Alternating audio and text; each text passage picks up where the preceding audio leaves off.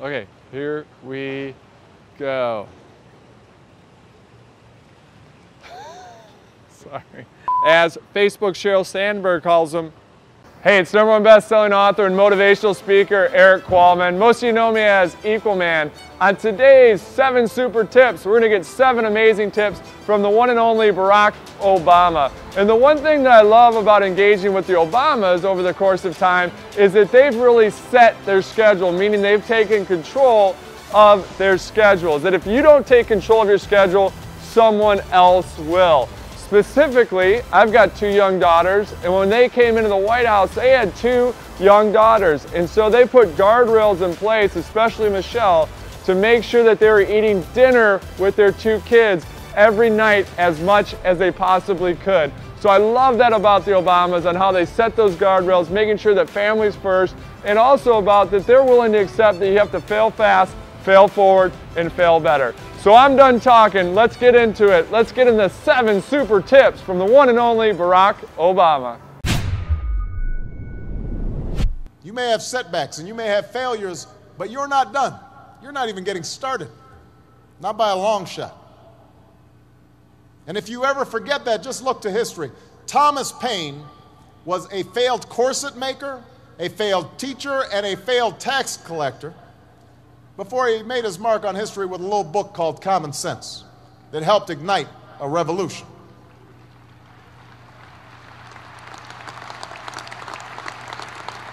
Julia Child didn't publish her first cookbook until she was almost 50. Colonel Sanders didn't open up his first Kentucky Fried Chicken until he was in his 60s. Winston Churchill was dismissed as little more than a has been who enjoyed scotch a little bit too much before he took over as prime minister and saw Great Britain through its finest hour. No one thought a former football player stocking shelves at the local supermarket would return to the game he loved, become a Super Bowl MVP, and then come here to Arizona and lead your Cardinals to their first Super Bowl. Your body of work is never done. Each of them, at one point in their life, didn't have any title or much status to speak of, but they had passion, a commitment to following that passion wherever it would lead, and to working hard every step along the way. Well, with respect to failure, uh, it's terrible, but but but necessary. Uh, if, if you if you are going to try something hard, if you're putting yourself out there in some way, there are going to be times where you screw up or you don't succeed. Or there are times where you do everything right and you still don't succeed.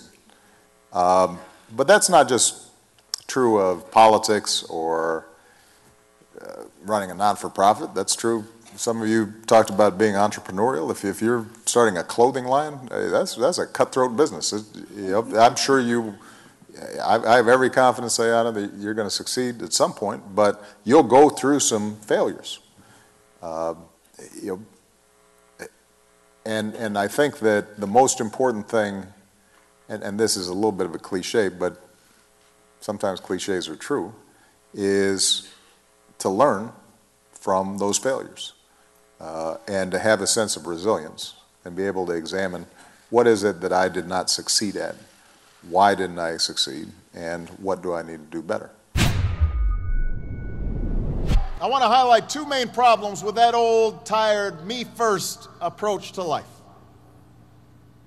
First of all, it distracts you from what's truly important. And it may lead you to compromise your values and your principles and your commitments. Think about it.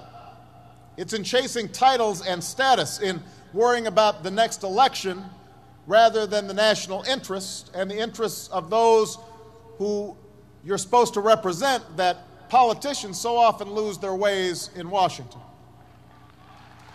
They spend time thinking about polls, but not about principle. It was in pursuit of gaudy short term profits and the bonuses that came with them that so many folks lost their way on Wall Street, engaging in extraordinary risks with other people's money. In contrast, the leaders we revere the businesses and institutions that last, they are not generally the result of a narrow pursuit of popularity or personal advancement, but of devotion to some bigger purpose the preservation of the Union or the determination to lift a country out of a depression, the creation of a quality product, a commitment to your customers, your workers, your shareholders, and your community, a commitment to make sure that an institution like ASU is inclusive and diverse and giving opportunity to all. That's the hallmark of real success. Which brings me to the second point. Just as Morehouse has taught you to expect more of yourselves, inspire those who look up to you to expect more of themselves.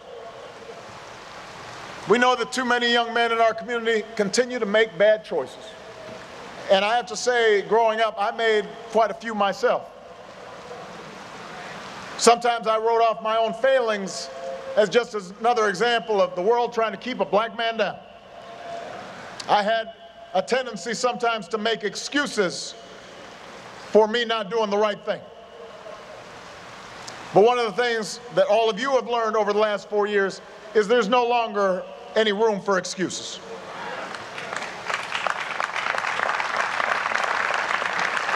I understand there's, there's a common fraternity creed here at, at Morehouse. Excuses are tools of the incompetent used to build bridges to nowhere and monuments of nothingness. Well, we've got no time for excuses. Not because the bitter legacy of slavery and segregation have vanished entirely, they have not. Not because racism and discrimination no longer exist. We know those are still out there. It's just that in today's hyper connected, hyper competitive world, with millions of young people from China and India and Brazil, many of whom started with a whole lot less than all of you did, all of them entering the global workforce alongside you, nobody is going to give you anything that you have not earned. Nobody cares how tough your upbringing was.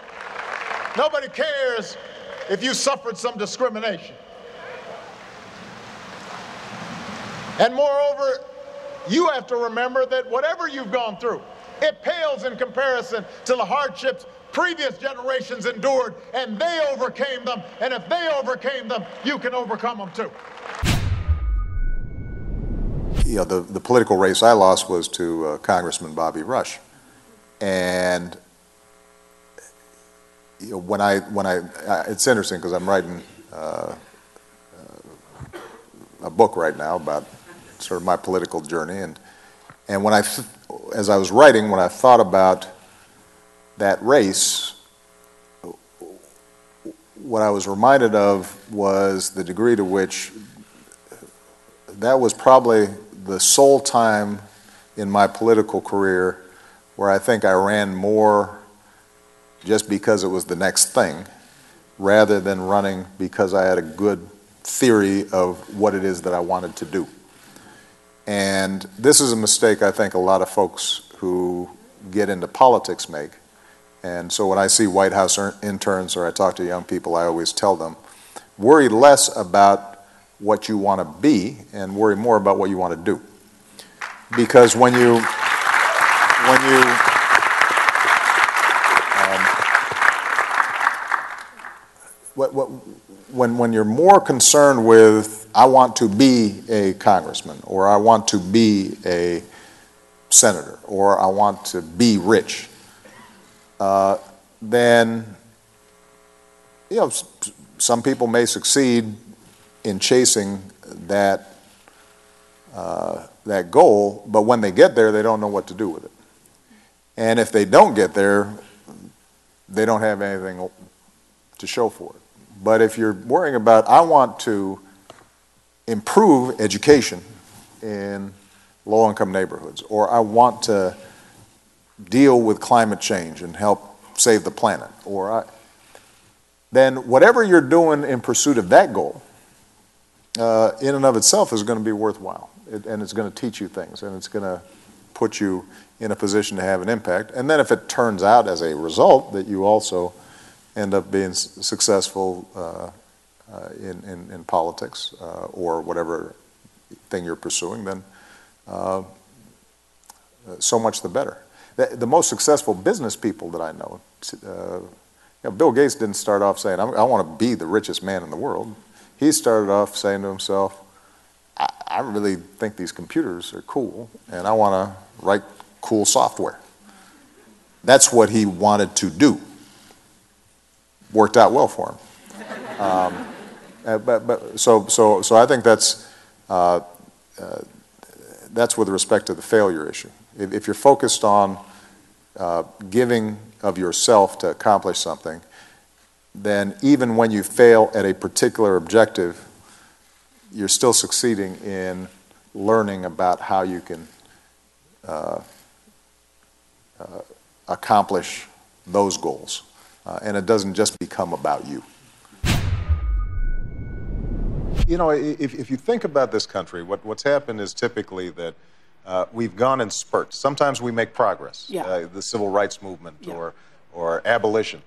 Uh, and then sometimes we go into dark times. Uh, but the general trajectory uh, is upward. Yeah, one of my favorite sayings, Martin Luther King once said, uh, the arc of the moral universe is long, but it bends towards justice. You know, it, it, it, you can't always see it, but on the horizon, it's moving in the direction. Okay, so justice. but you do not feel that these are dark times. Well, I think I think they're troubling times, and I think they're troubling times for a couple of reasons. I, I think they're troubling times because uh, we feel cynical about government. Yeah. Uh, we don't get a sense that uh, the challenges that we're facing in terms of educating our kids to compete and making sure that uh, everybody has health care and right. uh, dealing right. with the energy problems that you we called have. It, there's something I'd never heard this phrase before. You called it a coarsening of the culture. Well, I, and, and, and you see it all our the time. Our belief in materialism and all of that. And, and you see it, you, you see it uh, in our youth, yeah. and you see it at the highest reaches of government. Uh, a sense that uh, it's more important to be powerful or to be wealthy than it is to, to do right.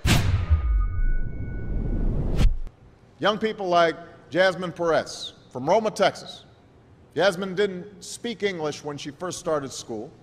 Neither of her parents had gone to college. But she worked hard, earned good grades, and got a scholarship to Brown University as now in graduate school studying public health on her way to becoming Dr. Jazmin Perez. I'm thinking about Andoni Schultz from Los Altos, California, who's fought brain cancer since he was three. He's had to endure all sorts of treatments and surgeries, one of which affected his memory, so it took him much longer, hundreds of extra hours, to do his schoolwork. But he never fell behind. He's headed to college this fall. And then there's Shantell Steve from my hometown of Chicago, Illinois. Even when bouncing from foster home to foster home in the toughest neighborhoods in the city, she managed to get a job at a local health care center start a program to keep young people out of gangs, and she's on track to graduate high school with honors and go on to college. And Jazmin, and Doni, and Shantell aren't any different from any of you. They face challenges in their lives just like you do. In some cases, they've got it a lot worse off than many of you. But they refuse to give up. They chose to take responsibility for their lives, for their education, and set goals for themselves. And I expect all of you to do the same. And that's why today I'm calling on each of you to set your own goals for your education and do everything you can to meet them. Your goal can be something as simple as doing all your homework, paying attention in class, or spending some time each day reading a book. Maybe you'll decide to get involved in an extracurricular activity or volunteer in your community. Maybe you'll decide to stand up for kids who are being teased or bullied because of who they are or how they look. Because you believe, like I do, that all young people deserve a safe environment to study and learn. Maybe you'll decide to take better care of yourself so you can be more ready to learn. And along those lines, by the way, I hope all of you are washing your hands a lot and that you stay home from school when you don't feel well so we can keep people from getting the flu this fall and winter. But whatever you resolve to do, I want you to commit to it. I want you to really work at it. I know that sometimes you get that sense from TV that you can be rich and successful without any hard work. That your ticket to success is through rapping or basketball or being a reality TV star. Chances are you're not going to be any of those things. The truth is, being successful is hard. You won't love every subject that you study. You won't click with every teacher that you have. Not every homework assignment will seem completely relevant to your life right at this minute. And you won't necessarily succeed at everything the first time you try. That's okay.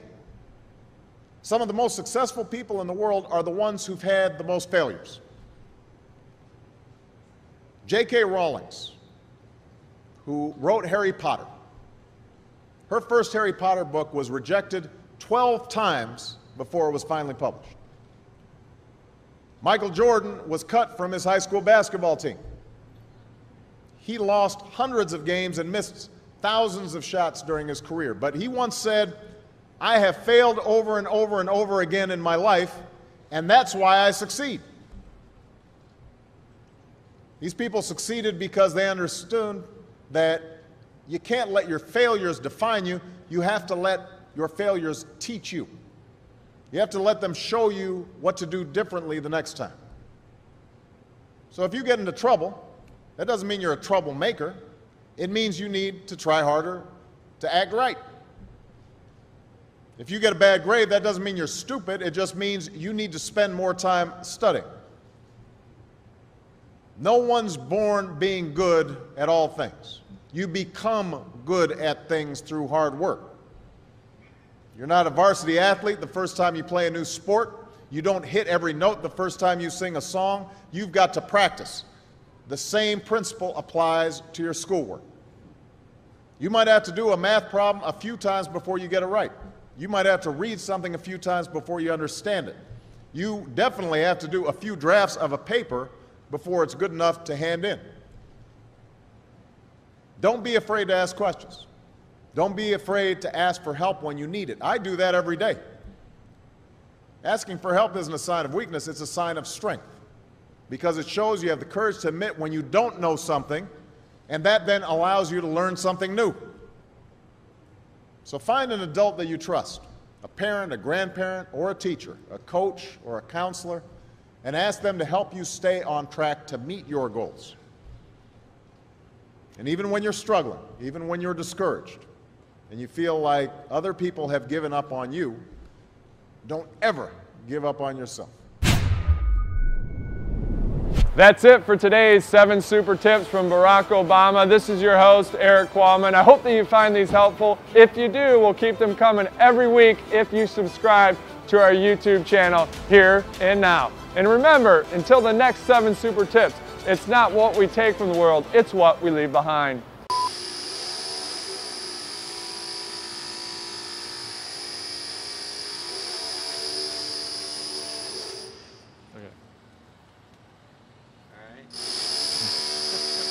Oh man, that drill's loud. Let me try to think about it. I lost my train of thought. Okay, pressure's on. Come on, dude, let's do it. Let's do it. Let's do it. Do it. Do it. Do it. Do it. Come on.